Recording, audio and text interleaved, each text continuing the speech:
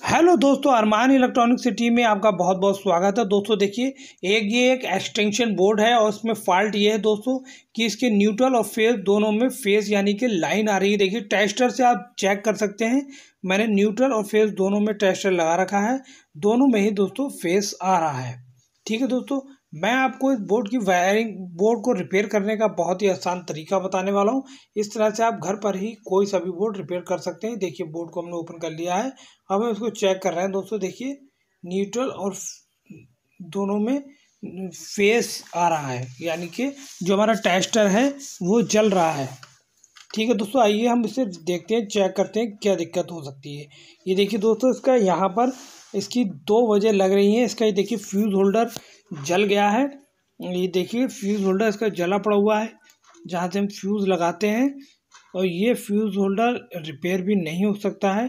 तो हम इसको करना ये होगा दोस्तों कि हम इसके वायर को काट के इस तरह से और इस फ्यूज़ होल्डर को डायरेक्ट कर देंगे। क्योंकि इसका फ्यूज़ होल्डर जब जल गया है तो जल्दी आसानी से मिलेगा नहीं। तो इसलिए इस फ्यूज़ होल्डर को हम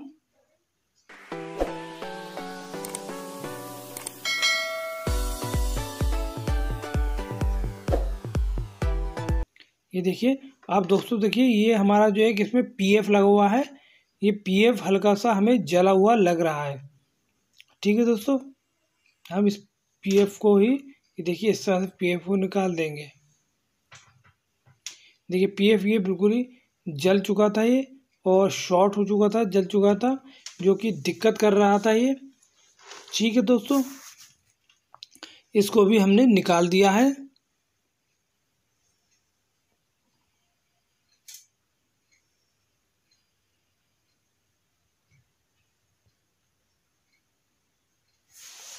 ये देखिए दोस्तों, हम टेस्टर से चेक कर रहे हैं। इसमें देखिए फेस आ रहा है फेस आ रहा है और इस वाले में नहीं आ रहा है देखिए। यानी कि हमारा जो फेस हमने चेक करा था, वो, ये देखिए फेस आ रहा है, इसमें नहीं आ रहा है। यह न्यूट्रल फेस हमारे नहीं आ रहे हैं इस टाइम ये देखिए देखिए न्यूट्रल में फेस नहीं आ रहा है फेस में ही फेस आ रहा है। ठीक है दोस्तों, ये देखिए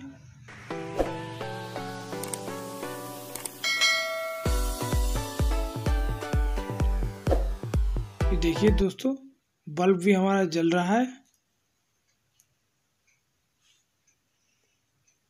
ठीक है दोस्तों, उम्मीद करता हूँ वीडियो आपको अच्छी लगी। वीडियो अच्छी लगी तो लाइक और शेयर की बौछार लगा देना।